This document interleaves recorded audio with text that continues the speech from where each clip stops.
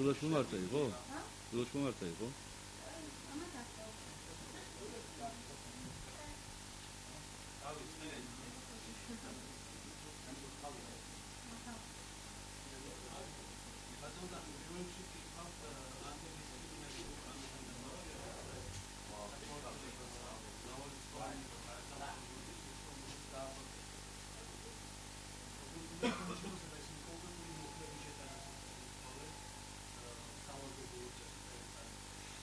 რა არის ჩვენ გვაქვს ვალდებულებები აღებული კონკრეტულად მათ შორის ანტიდისკრიმინაციული დისკრიმინაციული განმგებლობის მიხედვით. ამიტომ მე ჩემი აზრით საჭიროა რომ პარლამენტმა გაითვალისწინოს არასამთავრობო ორგანიზაციების განცხადება ამ საკითხთან დაკავშირებით. რა თქმა უნდა ბუნებრივია რომ ყოველთვის თანხმედრაში ვერ იქნება არასამთავრობოების სურვილი პარლამენტის გადაწყვეტილებასთან შესაბამისობაში ყოველთვის სრულყოფილად 100%-ით არ იქნება, მაგრამ როდესაც 40 არასამთავრობო ორგანიზაცია საკუთარ ხედვას გამოხატავს ძალიან მნიშვნელოვან კანონპროექტთან დაკავშირებით, მიმაჩნია, რომ პარლამენტმა როგორც მინიმუმ თუ არ მიიღებს, უნდა განმარტოს, რატომ არ მიიღო კონკრეტული წინადადებები და მუხლები. აა ამიტომ ჩემი აზრით უმრავლესობას ალბათ გააკეთებს კონკრეტულ განმარტებებს ამ საკითხებთან დაკავშირებით. ისე სიმართლე ვგიცოთ მე მაინც ვფიქრობ რომ დიდი საპრობლემო საკითხი ეს არ არის რომ პრინციპიალურად არ უნდა იქნეს მიღებული რატომღაც უმრავლესობისთვის ჩემი აზრით ალბათ უმრავლესობა უნდა გაითვალისწინოს ეს საკითხი.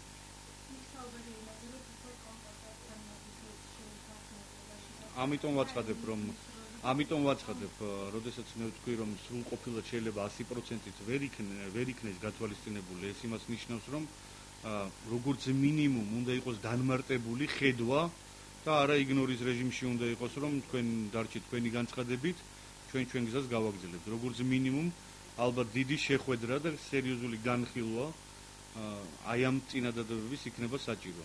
სხვანაირად მე უბრალოდ ვერ ხედავ საერთოდ ნებისმიერი საკითხის გადაწყვეტილების სხვაგვარ პერსპექტივას იმიტომ რომ სხვანაირად ჩვენ უბრალოდ ვერ განვითარდებით თუ ისევ ისე უმრავლესობამ მოიყრუა როგორც იყრუებდა 9 წლის განმავლობაში და მანამდეც კიდე საზოგადოების მოთხოვნებს. შესაბამისად შეიძლება არასამთავრობოთა ორგანიზაციების აი ამ რაოდენობის მიუხედავად ამ რაოდენობის ორგანიზაციების აზრი ყველასთვის არ იყოს დამაკმაყოფილებელი, მაგრამ როდესაც 40 ორგანიზაცია, პროფილური ორგანიზაცია, რომელიც მუშაობს ასეთი ტიპის საკითხებზე, საკუთარ წინადადებებს წარმოთქვავს, როგორც დაუგზავნის პარლამენტს და საზოგადოებასაც ცნობს, როგორც მინიმუმ ფართე განხილვა საჭირო და დეტალური განხილვა საჭირო და არა ზერები.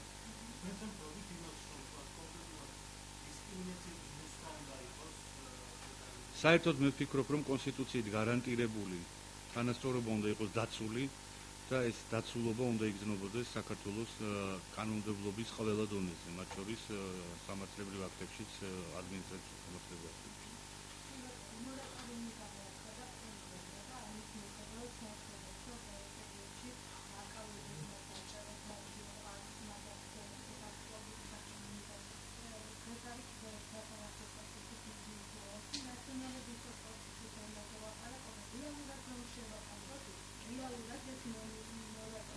მე გეტყვით საერთოდ რეალურად რო შევაფასოთ ის რაც ხდება რაღაც ისე მეჩვენება რომ აი ცოლქმრის ურთიერთობა აქვს ნაცნობრობას და ქართულოცნებას ზოგჯერ რო ჭუბობენ და ძირითადი დრო რომ ძირითადი დრო რომ მაინც ერთმანეთის ფერებაში არიან და უერთმანეთოდ მაინც რო არ შეუძლიათ. აი ეგეთი ეგეთი სიტუაცია მაგონებს რატომღაც არ ვიცი.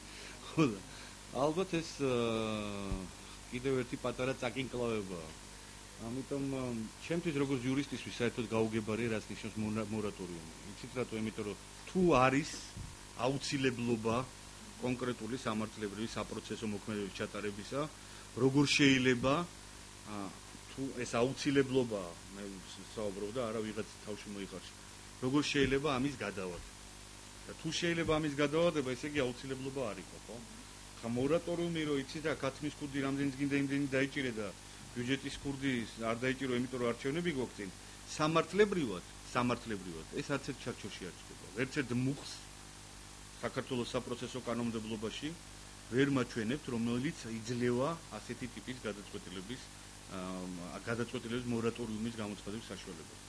ტაქტიკა, გამოძიების ტაქტიკა იძლევა საშუალებას, რომ ზოგ შემთხვევაში ზოგ შემთხვევაში არ განახორციელო კონკრეტული საგამოძიებო მოქმედებები, მაგრამ როდესაც ჩვენ საუბრობთ გადაუდებელ აუცილებლობაზე, ერთ-ერთი მორატორიუმი ამას ვერ გადაფარავს. სხვა შემთხვევაში ჩვენ უბრალოდ მივიღებთ კიდევ ერთხელ ისეთ სახელმწიფო, სადაც იქნება შერჩევითი მართლმსაჯულება, სადაც პოლიტიკოსებს მიმართ იქნება ინდულგენცია და მორატორიუმები, საწყალი ხალხის მიმართ, რომლებსაც ხშირად და პულსი პარავენ ან სხვაგვარად, მორატორიუმი კი არა, მთელი ეს მანქანა წნეხით ასამართლებს. ამიტომ აქ საერთოდ რაზია საუბარი? საუბარი უნდა იყოს იმაზე, რამდენად დაცულია კანონის უზენაესობის პრინციპი. მე არ საუბრობ, რომ ყველა პროკურატურის და ყველა სხვა სამართალდამცავი უწყების გადაწყვეტილება შეიძლება იყოს აუთ ძალიან ობიექტური, იმიტომ რომ ჩვენ ხედავთ, რომ რიგ შემთხვევაში არის სერიოზული დარღვევები, მაგრამ მე მაინც არ მესმის მორატორიუმის არსი. ახლა როგორ შეიძლება დაუშვათ ადგილზე წაასწრო კონკრეტულად თანამდებობის პირი იმ იმ დანაშაულის ჩადენისთვის, რომელიც სიტუაციის მაგალითად პასუხისგებლობას და არა 2-3 წლით და თქვა რომ იცით რა ჩვენ ახლა ამას თავს დავანებობთ, იმიტომ რომ მორატორიუმია და არჩევნები. მაგრამ უნდა იყოს აუცილებლად ნამდვილად ყველა შესაბამისი პირობა, რომ კონკრეტული საპროცესო პროცესუალური გადაწყვეტილება იქნეს მიღებული გამოძიების მიერ და არა რაღაც შერჩევით. თუ საუბარი იმაზეა რომ პოლიტიკური შერჩევითობა არ უნდა იყოს, მაშინ ისედაც არ უნდა ყოფილიყო, თუ რო არჩევნები არ ყოფილიყო, ხო? მე ესე მესმის. ამიტომ ცოტა გაუგებარი ჩვენთვის. ახლა აი პროკურატურის განცხადებას გახსოვთ თქვენ? საუბრობდნენ რომ ჩვენ მიშა სააკაშვილის დაკითხვის გარეშეც დავადგენ ჭეშმარიტებას. დალოცულობ თუ დამდგენები იყავით ჭეშმარიტების რაღაც იბარებდით, ხო? ან რაღაც ეხვეწებოდით ან Facebook-ით, ან Skype-ით, ან რა ქვია, ადნაკლასნიკებით მის დაკითხვას. თუ შესაძლებელი იყო ჭეშმარიტების დადგენა რა საჭიროა და თუ შეუძლებელია და დაიბარე მაშინ უნდა იცოდე რა უნდა გააკეთო თუ არ გამოცხადდა მე ეს ესე მეთქი გამარჯობა საბოლოო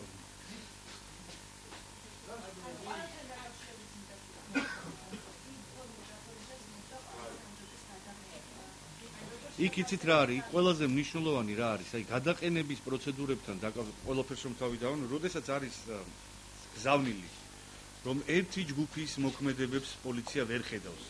ხო რომ მეორე ჯგუფის მოქმედებების რეაგირება, მეორე ჯგუფის მოქმედებების რეაგირება მოქმედებებზე რეაგირება ხდება სრულყოფილი, ადეკვატური და ზოგჯერ ნაჩქარევი, აქ იბადება უბრალოდ კითხვის ნიშანი რატომ? რატომ რისთვის და რა პირობების გათვალისწინებით? იმიტომ რომ შესაძლოა შენ ხედავ პოლიციელი რომ ერთი ჯგუფი არ ღვევს სხვა ჯგუფის უფლებებს და ამაზე რეაგირებას არ არაცხადებდა მეორე ჯგუფის მიმართ ადეკვატური და ზოგ შემთხვევაში გადაჭარბებული რეაგირება აქ იბადება კითხვა. ამიტომ მე ყოველთვის იმის მომხრევა რომ მორატორიუმები კი არ გამოვაცხადოთ ზოგ ეტაპზე, ან უკვე კი არ შევიჩვიოთ ყური, რომ იცით რა, ეხლა არჩევნებია მორატორიუმი. მინდა ვიყოთ იმის მომხრეები, რომ კანონის უზენაესობის პრინციპი უნდა იყოს დაცული. საჭიროა, უნდა გააკეთო ნებისმიერ დროს, ნებისმიერ ვითარებაში, მაგრამ ბოლომდე დასაბუთებულად რომ ყველასთვის გასაგები იყოს.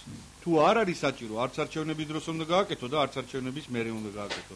თუ პოლიტიკური мотиваცია იკვეთება და პოლიტიკურ мотиваციას ვერ გაორბიხარ და აშკარად ხდება პოლიტიკური ნიშნით რაღაცის შეფასება, საერთოდ არ უნდა კონდეს ასეთი ტიპის მოქმედებების ადგილი და არა მხოლოდ არჩევნების პერიოდში. მაგრამ თუ დანაშაულია ჩადენილი, ყველა შემთხვევაშია რეაგირება საჭირო.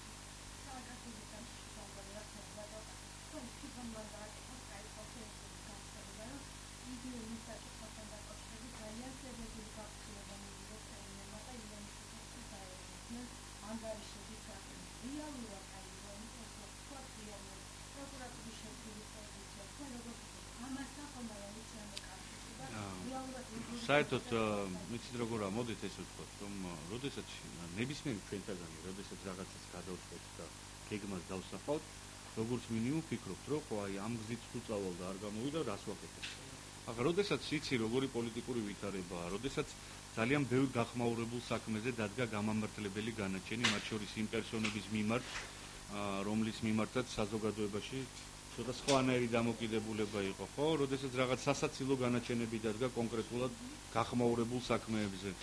ასეთ ვითარებაში, როდესაც გადაწყვეტ და აცხადებ საარჩევნო კამპანიის პერიოდში, რომ შენ იბარებ საქართველოს ყოფილ პრეზიდენტს დაკითხვაზე როგორც მინიმუმ უნდა გაითვალისწინო რა მოხდება ან რა უნდა გააკეთო იმ შემთხვევაში თუ ეს პრეზიდენტი არ გამოცხადდა ნუ როგორც მინიმუმ პუნქტებიდან კონდა იყოს გეგმა შემდგარი. პუნქტი A დავიბარე გამოცხადდა დავკითხე რას ვაკეთებ. პუნქტი B დავიბარე არ გამოცხადდა რას ვთავაზობ პუნქტი C დაუშვა დავიბარე მე არ გამოცხადდა გადაცხადა რომ არ მომცემს ჩვენებას მე ვთავაზობ Skype-ით ჩვენების მიცემას. და ასე შემდეგ. როდესაც ეს ყველაფერი კეთდება სპონტანურად არასწორი გადაწყვეტილებების არა ბოლომდე დასაბუთებული გადაწყვეტილებების თუნდაც რომ არ იყოს პოლიტიკური ნიშნით და კონტექსტით გამოტანილი გადაწყვეტილება, როდესაც ის გადაწყვეტილება სისრულეში არ მოდის, ყოველთვის ესეთი ტიპის გადაწყვეტილებები ბადებს რაღაც ეჭვს. ხო, აი ახლა, როდესაც შენ იცი რომ ადამიანს იბარებ არ ცხადდება და შემდგომში იძახი რომ ნუ არაუშავს ახლა არ ამის გარეშე დავადგენ, ხომ მიბადება კითხვა, მაშინ გასაჭირო იყო მისი დაბარება აი ესეთ ცხელ პერიოდში, როდესაც მთელი საერთაშორისო თანამეგობრობა ითხოვს, რომ სამართლიანად ჩატარდეს თვითმმართველობის არჩევნები. მაშინ არ უნდა დაიბარო თუ საჭირო თუ შესაძლებელი იყო, რა მე ამიტომ ამის მომხრე ვარ ნებისმიერ საკითხში. სანამ არ იქნება სრულყოფილად ყველა მტკიცებულება შეფასებული და სანამ არ გეკნება კონკრეტულად იმის რწმენა, რომ ნამდვილად შენს მიერ წარმართულ საქმეზე სასამართლოში დადგება გამომყუნებელი განაჩენი და კვალიფიკაცია არ შეიცვლება და საბოლოო თავის მართლების რეჟიმი რეჟიმში არ იქნები, ჯობია არ გადაწყვიტო მანამ საკითხი, იმიტომ ნაჩქარევი გადაწყვეტილება ყოველთვის ნაჩქარევი გადაწყვეტილებას მოყავს ავტორი შემდგომში თავის მართლების რეჟიმში. თავის მართლების რეჟიმში აგერ 2 წელია საქართველოს ახალი ხელისუფლება. სამწუხაროდ.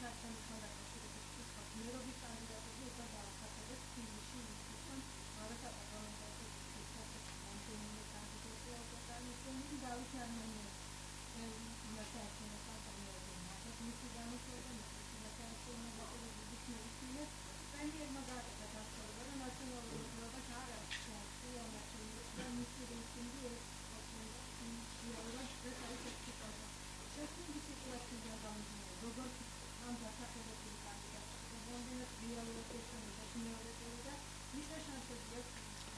იცით რა არის? მე მაინც კიდე უბრუნდები იმ თემას რომელიც წამოვიწყე.